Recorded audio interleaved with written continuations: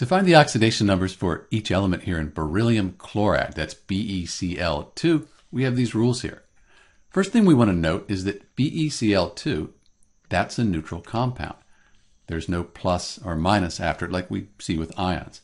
So all the oxidation numbers, they're going to add up to zero. Beryllium, that's in group 2 on the periodic table. It's going to have a plus 2 oxidation number. Chlorine, that's in group 17, sometimes called 7a that'll have a minus 1. So each chlorine atom has an oxidation number of minus 1. And all these should add up to 0, so we could check that. We have plus 2 here, and then 2 times minus 1, that's minus 2.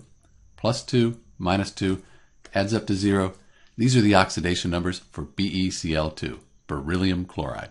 This is Dr. B, and thanks for watching.